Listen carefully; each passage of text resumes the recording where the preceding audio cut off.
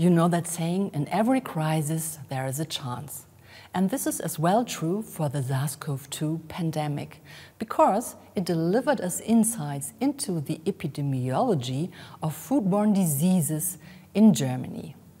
Ursula and me, Petra, we are risk managers at the German Food Safety Authority. And during our day-to-day -day work, we look at numbers of infections of uh, diseases that are often foodborne.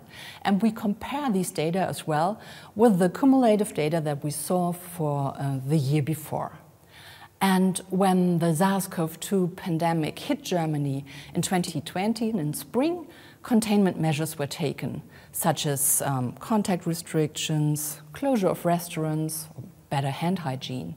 And these containment measures as well influenced uh, the number of infectious diseases, but in a very different way. For example, looking at the number of listeriosis cases in Germany, you can see that nothing has changed. So you see the same number of infections in 2020 than in 2019. On the other hand, if we look at the data for norovirus infections, we can see um, that these dropped to a very low level as soon as the containment measures were taken.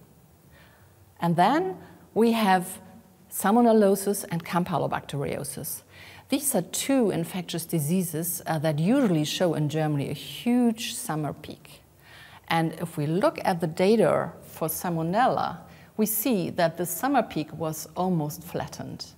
But this was not the case for Campylobacteriosis cases. Here we still see a peak in summer.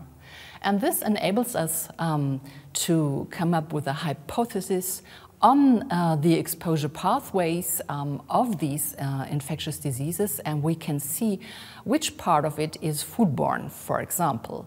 And with having this information, we hopefully will be able in future to better prevent and control foodborne diseases in Germany. So, whenever you have questions and you are interested in this subject, please come and meet us in the section One Life.